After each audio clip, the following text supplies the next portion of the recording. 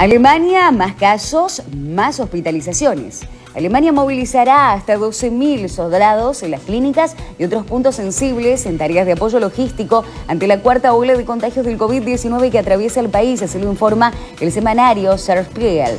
Un primer contingente de unos 6.000 soldados entrará en acción este mes de noviembre, operativo que se va a ampliar hasta los 12.000 para la Navidad, según ese medio.